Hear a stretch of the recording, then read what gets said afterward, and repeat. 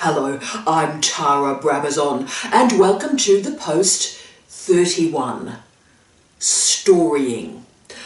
After our last series, the Pernicious PhD Supervisor series, it is time for our Return of the Jedi moment. In the next few vlogs, we're going to explore the inspiring, the imaginative, the extraordinary.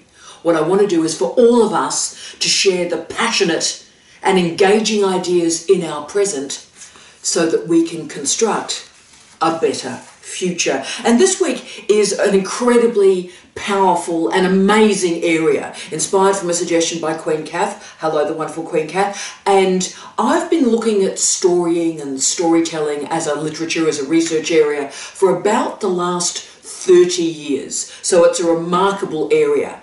And can I say, with incredible pleasure, this incredible area with a great legacy and heritage has had all these new shoots in the last five years. So let's explore storying and its relationship with storytelling and its relationship with narrative. And what I want to do is explore the relationship between storying and you. You as a human, you as a reader, you as a writer, you as a thinker. And I'd like to dedicate the post this week to Jess. You've got this, Jess. So, let's start with some nuggety questions, shall we? Three questions for you. First question What are the stories that you tell yourself about yourself? Second question what are the stories that you tell about yourself to others? And the third question is what are the differences between those stories? You see, stories are important because they inform us, they challenge us, they socialise us, they guide us, and yes, they can transform us.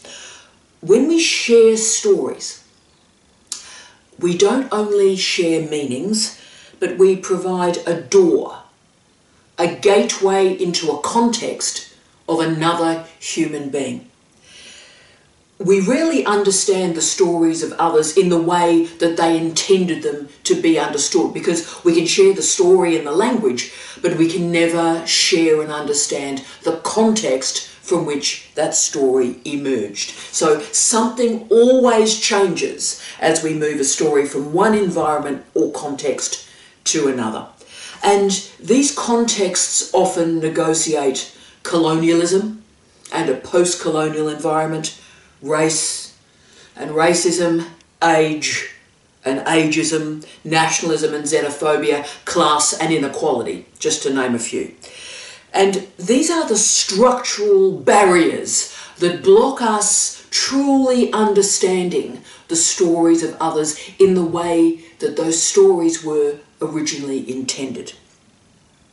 So, stories are troubling, and that's great because stories challenge our secure sense of self. Because when we listen to the stories of others, we see the institutions, the truths, the histories, the organisations that we've sort of taken for granted all our lives. When we listen to the stories of others, we see those institutions and people and ideas in a completely different way. Stories are a door. And when we listen to them, we understand them, we reflect on them, we walk through that door into the context of other people. So as you can see, storying is transformative. So let's now, right at the start, we've already thrown a few words about, let's try and understand the key terms and vocabulary in this paradigm or field. So, stories, pretty straightforward. A mode of communication, and stories emerge from a place and they create and build relationships. Stories can be spoken, stories can be written, they can be danced, they can be sung, they can be sculpted, they can be painted, just to name a few platforms. Stories are different from narrative. Yes, we're going there. Now, as a lot of you know, I did a lot of work on narrative through a lot of my degrees. I did a lot of work on continental literature and continental philosophy, and so I did a lot of work on narrative. And I read Todorov, and I read Propp, and you can see right to even the research I've done this year and published this year, you still see references to Todorov and Propp, and I continue to use them. Great scholars. But stories are not narratives. Narrative is a word, but it's also a trope that carries credibility with it. And the word narrative has credibility in disciplines like history, English literature, business, health, and education. So a narrative has credibility and it carries power with it. So think about all the chronological narratives you were taught at school. Too often those chronological narratives were termed history, often with a capital H. So what was this? Well, this was fact upon fact upon fact upon fact. And these facts were organised by time into a chronological narrative. And what happens when you do this is a chronological narrative has propulsion. It has a power through its relentlessness. This happened, then this happened, then this happened, then this happened. And you sort of follow what happened. But the actual point of a narrative is to stop critical thought. To stop thinking, was to stop the very realization that there are alternative truths, alternative facts that for some reason are cut away or blocked out of this momentum and propulsion for one fact after another. So why are these facts excluded? Why are they not seen to be valuable or important when we're being taught chronology and narrative? And there are many answers to that question. One is that these facts that are magically left out of the narrative destroy or crush or indeed critique the credibility that all these organisations have invested in a chronological narrative. Now, as a lot of you know, my first two degrees were in history, and I took those history degrees from quite a, a posh, quite a posh university, very elite and also very traditional. And, you know, I got to that university, and I'll be really honest with you all, it, I felt, you know, that duck out of water, I just felt like I didn't belong. I was sort of this working class girl in this posh degree in this posh university and I had the wrong accent, I still do. Uh, I didn't dress appropriately, I still don't. And of course, I didn't go to the right school, and of course, I still didn't. And I was being taught these chronological narratives, and I realised these chronological narratives left out most of the population of the entire world. Because social history and oral history and women's history and so forth were just starting to appear in the undergraduate programs and courses in which I enrolled. And for example, post structuralism as a theory was only introduced in one seminar in my honours year.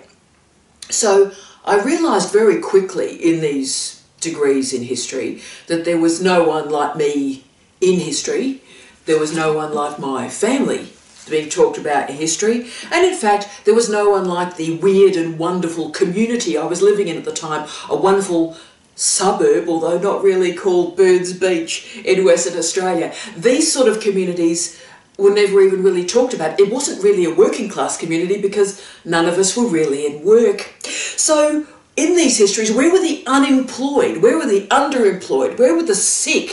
Where were the crew with impairments or disabilities? Where were migrants? Where were the loners? We were the lonely?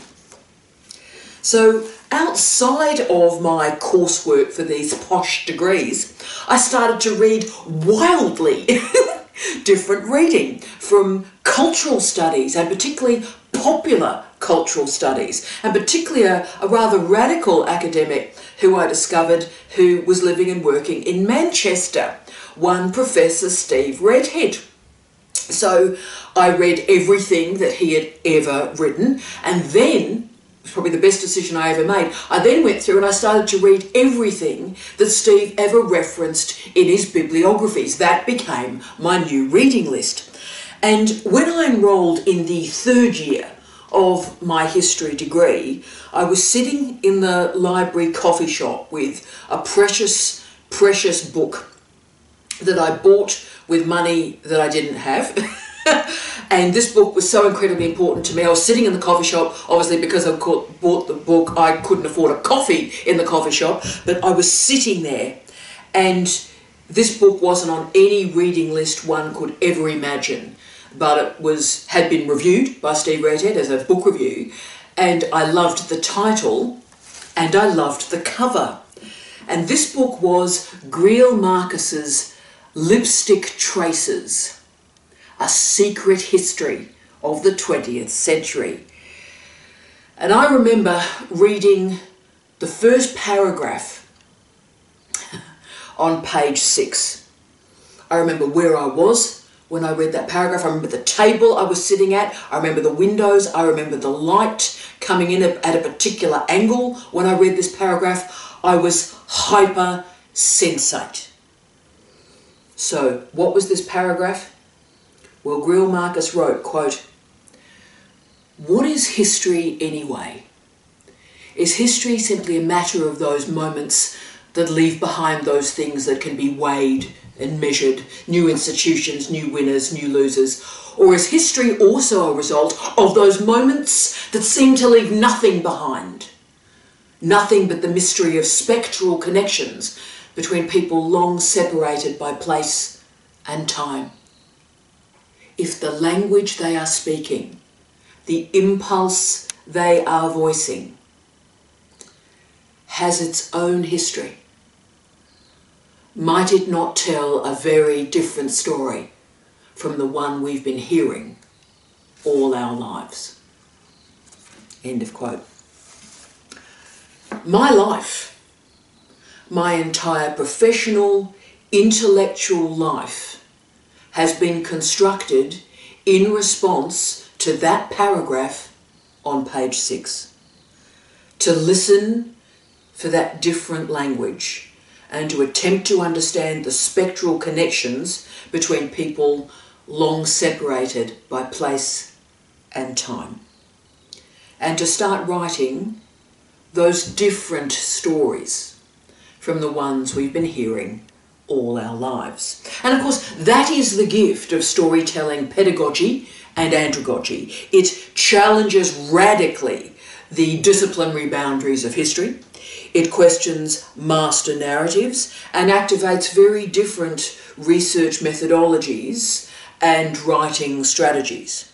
So, what does it mean to live and work and sweat and cry and be frightened and be lonely.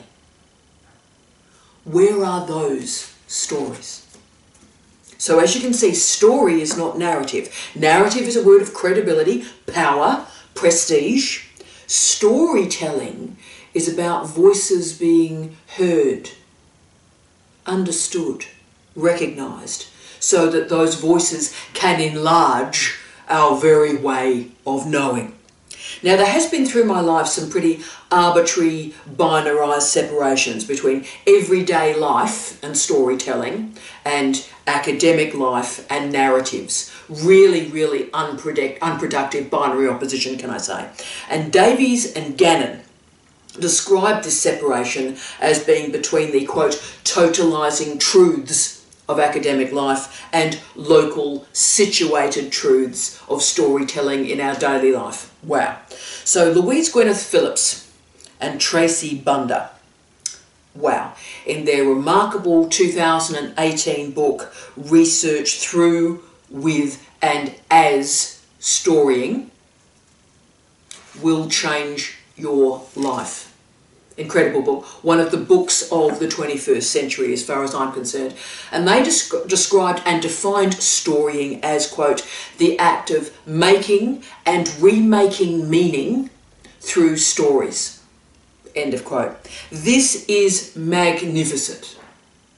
Meaning is made and remade.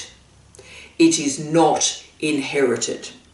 It is made and remade, and therefore it's constantly in flux. So, what are stories? Well, stories are data sets, stories are theories, they're methodologies, and they transform our very ontology.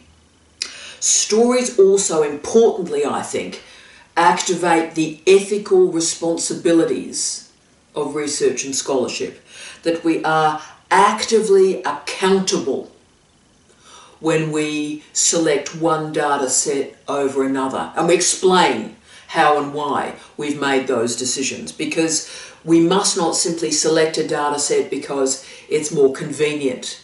It's easier to understand. It's easier to access. But we have to explain our data sets. And when we do that, we activate our accountability in the selection of research questions, the configuration of research literature, and also our methodologies. And it forces us to explain to diverse audiences why our research matters. Therefore, whether we're talking about experimental physics and engineering, through theology or art and design, storytelling is crucial to our research projects. It's, I would argue, crucial to the very nature of being an intellectual. Daniel Kahneman stated that, quote, and I love this, quote, no one ever makes a decision because of a number. They need a story, end of quote. So whenever anyone from the empirical sciences or empirical social sciences use statements like, and we hear it a lot, just give me the data. Let the data tell the story. I sort of laugh, and you can see the foolishness of such phrases because how do we approach that data set? What's the story going in to the data set? What's the story going out of the data set? Now, Mark Carpenter and Daryl Harmon offered, I think, the best justification to scientists, begging scientists to become the master storytellers that we need you to be. They stated that, quote, storytelling is sense making. End of quote. So these stories demonstrate the importance of the data set and also the impact of that data set as it moves through the world. Put another way, if I haven't convinced you yet of the value of stories, storytelling, and storying, no matter what your discipline, the legendary Harrison Monarth stated that, quote, data can persuade people, but it doesn't inspire them to act. Wow. You can persuade people, but does it inspire them to do something? That's what stories do. Because storytelling answers the crucial question in our lives.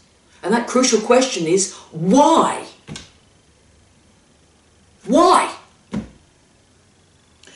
Stories, like research itself, they're fluid, they're agile, they're dynamic, they're delicate. They're also profound and profoundly important for Indigenous scholars who are deploying a remarkable array of methodologies at the moment. I've been watching yarning as an, a methodology in many Indigenous nations in Australia powerful methodological interventions through yarning. Uh, I advise you please engage in some of those dialogues. We're all learning a lot there. And of course, in terms of whakapapa, the sharing of whakapapa from Māori, powerful, transformative stories for Aotearoa New Zealand from the past to the present to the future. The epistemological value of storying and storytelling for Indigenous scholars, Indigenous citizens, transforms our very conventions for research. and demands that all of us, again, do harder work, think more deeply about methodology and epistemology and ontology. Particularly, and this is what is what of specific interest to me, can I say, is storying offers us a very different way of thinking about what is worthy and what is important research, and also what is measurable and what is accountable in research. These are big questions. These are big questions of our time. Stories are important, and there's no guarantee ever that that story is going to be heard or listened to or understood. Now, when these stories are heard and listened to and understood, as for Indigenous Australians, they are the strategy to sustain the longest living culture in the world. And that's power.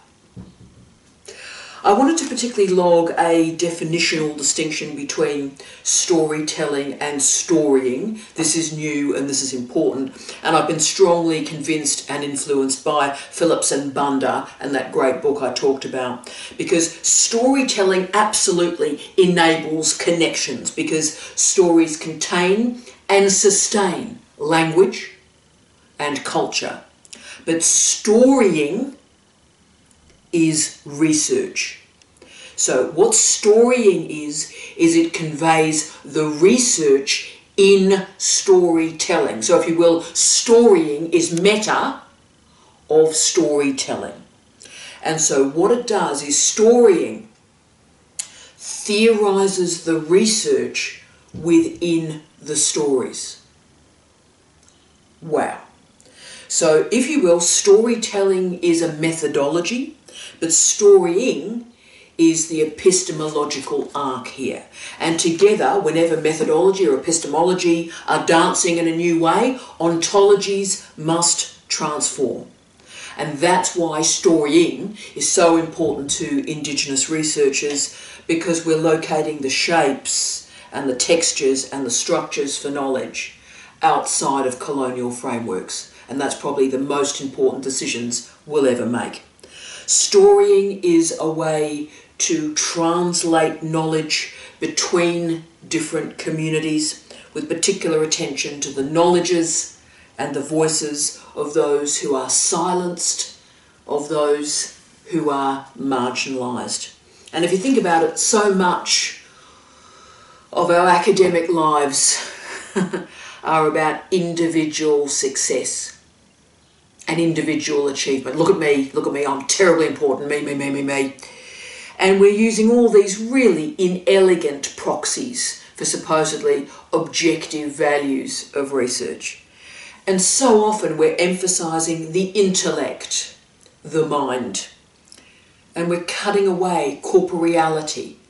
We're cutting away the body and all the sensory information that comes to our body through our senses. So as you can see, storying and storytelling activate communities, connections, and corporeal knowledges. For all of us, whether we're scholars, whether we're citizens, storying demands that we work harder. We work a lot harder to communicate, to connect, and we work a lot harder to ask and answer why. Why? These strategies are important for all disciplines, all academic fields. They're actually important for research. But I did want to sort of finish off as we're moving towards the end of the post this week to think about the importance of storying for researchers. Now, we've just finished our pernicious PhD supervisor session and we've shared a lot together. We've seen the consequences of particular people taking an easy option, socially or sexually or intellectually, harming other humans so that they can succeed. But storying has an honesty about it because it demands that we are vulnerable. Indeed, vulnerability must be the very punctuation of storying and storytelling. It is empowering for the self to talk about the mistakes that we have made and the dreams that we've not accomplished. We learn to talk about pain. We learn to talk about regret. And we empower others to talk about their pain, their regret, their mistakes. And when any of us talk about fear or longing or failure, then that ensures that the people around us know that they are not alone. Matthew Dicks described this as, quote, living out loud, end of quote. And he developed a, a technique in his book that's actually changed my life, changed the way I approach my entire working day, to be frank. And look, there's a lot of talk in the literature about the importance of journaling, of course, and reflecting, and there's good literature on that, and there's no doubt that's very helpful for teachers, for researchers, for human beings. I'm not doubting that. But Dicks has focused that project, and he asks that at the conclusion of every day, we ask and answer one question. And that one question is, quote, what is my story from today?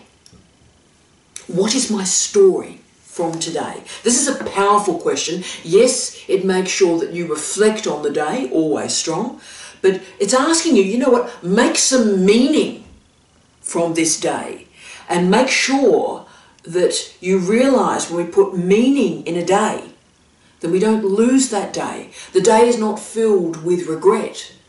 The day is filled with a story that has answered a why. Whenever in life we go through these challenges, I think it's helpful for us all to ask, what is my story from today? And when we answer this question meaningfully and consistently, then the what of my story becomes the why of my life. What is my life about? Suddenly becomes why my life matters and why the life of people around me matters. That's a great technique while we're studying, while we're researching, while we're teaching. But to be frank, this is an amazing strategy in how to live. How to live a more peaceful life, a more meaningful life. Folk tales and fairy tales and fables do not require vulnerability. Storytelling and storying requires intellectual, personal, and professional vulnerability. We have to be honest. We have to be transparent. And we live in a ruthless time of liars, of fakes, of pretenders. But even more importantly, I think, for those of us who teach at any level of education, we have to ask ourselves how do we become better teachers of storytelling?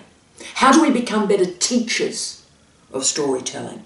How do we enable the next generation to tell their most authentic, difficult, accountable truth? So I've been thinking about this question a lot as I was doing the research and then writing and learning the vlog for you this week. And what I've realised is a story is not about events. it's not about chronology. A story is about change.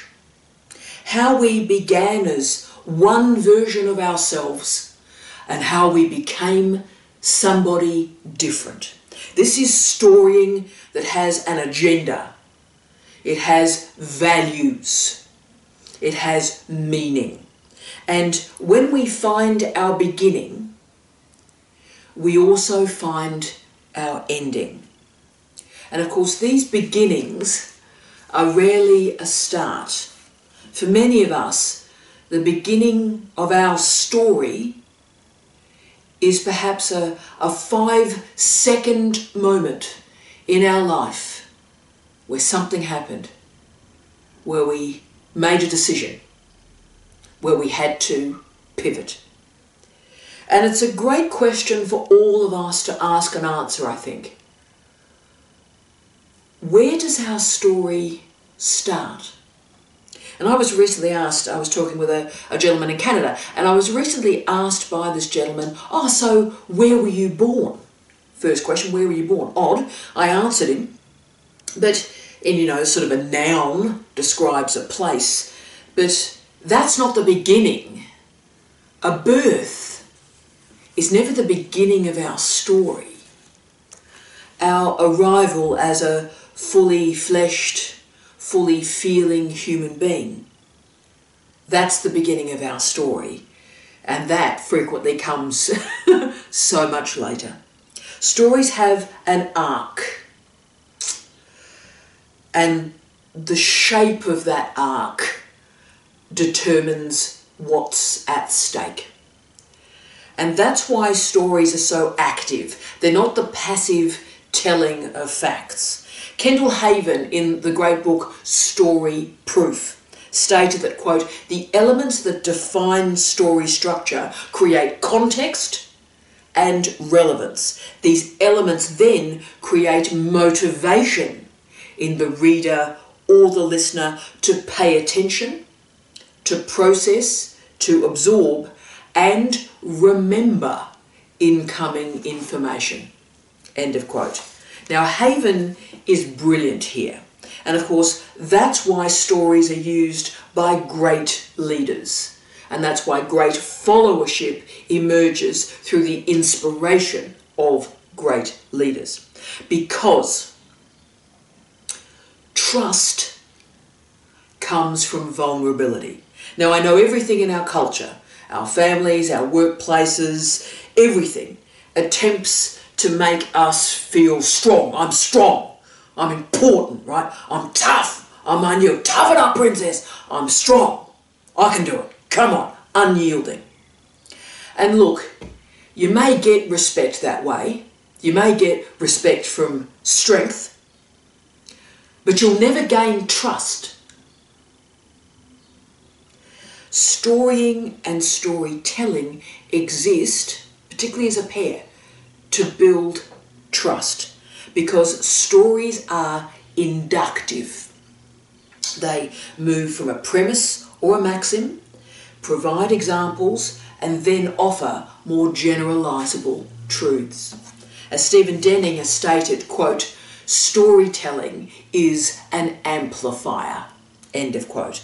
So when we tell stories, we show people who we are. We build connections, we build collaborations, and when we share a story, we stop being a stranger. And I wanted to finish the post this week, as I always do, and I always look forward to hearing from you. You're spectacular. The feedback from the last series of, of posts was unbelievable. So I love you, I appreciate you, I thank you for all that you are. But as I finish off the post this week, I wanted to present a statement from the great Alan Rickman that then provides the trigger to my final story. And the late Alan Rickman was for me in a very few of the best actors of all time. And his death from pancreatic cancer shook me because his illness was not public and his death and illness, his death was announced the day after he actually died by his wife. And so his illness was suffered in secret. And if you remember, it was a hell of a week when Alan Rickman died because David Bowie died in the same week. And he also kept his illness secret and it was announced uh, after his death by his wife. So when my late husband, the great popular cultural scholar that he was, Steve Redhead, gained, and I'm sure you're already ahead of me, when he got pancreatic cancer, he remembered the example of Bowie and Rickman and he followed their life and their death course. And we'll return to that death in a moment. But the legendary Alan Rickman stated that, quote, it's a human need to be told stories. The more we're governed by idiots and have no control over our destinies, the more we need to tell stories to each other about who we are, why we are, where we've come from, and what might be possible. End of quote. So I'll share my story, my pincer of flesh and blood and bone and meaning in my 53 years. So before Steve was diagnosed with pancreatic cancer and he went on to die on March 8, 2018, before Steve was diagnosed with pancreatic cancer, I believed that life had a purpose. Life was a joy, life was exciting, everything was fabulous, every day was a delight. I believed that. And when Steve died, I no longer believed that.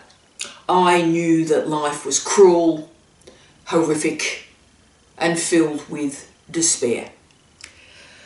That such a brilliant man who knew so much, who loved life so much, he was reading and writing up till three days before he died. The man whose ideas influenced and transformed the world. The idea that everything he was died and was cre cremated along with his body. That was the moment of change for me.